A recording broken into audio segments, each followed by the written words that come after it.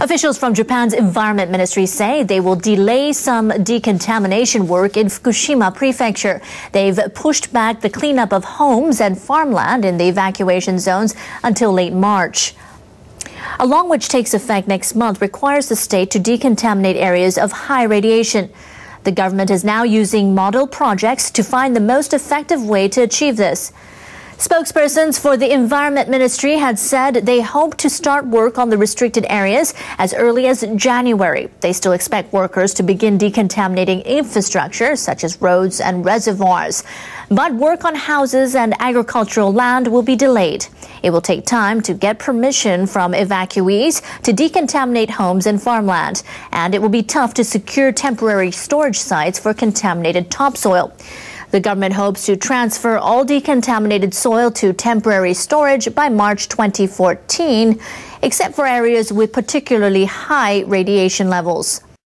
Japan's Environment Ministry has compiled guidelines for the removal of radioactive materials discharged from the Fukushima Daiichi nuclear plant. The 164-page guidelines with illustrations cover ways to measure radiation levels and remove radioactive substances. They also show how to collect, deliver, and store radiation-tainted soil and other materials. The decontamination process will be different for buildings, roads, soil, and plants.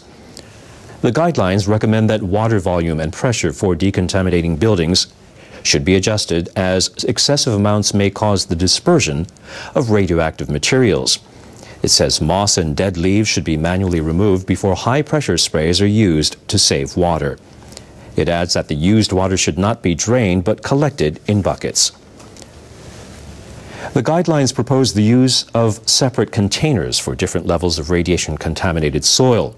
They also give the safe distances of storage spaces from residential areas.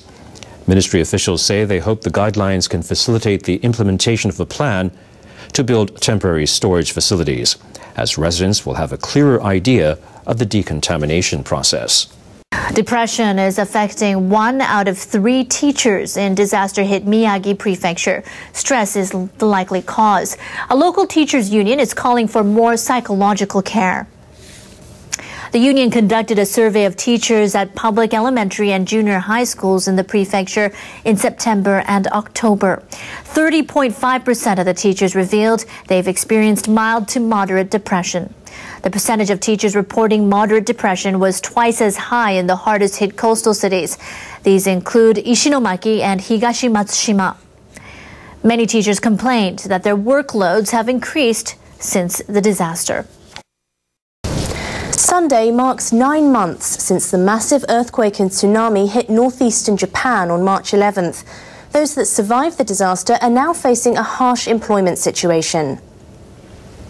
In affected areas, more than 66,000 people were receiving unemployment benefits as of October. But for most of them, benefits will start to expire next month. In the hardest hit prefectures of Iwate, Miyagi, and Fukushima, only 4,500 people found a full time job in October. Although short term employment is increasing, few companies have restored operations to pre disaster levels there aren't enough stable jobs to help rebuild the livelihoods of affected people.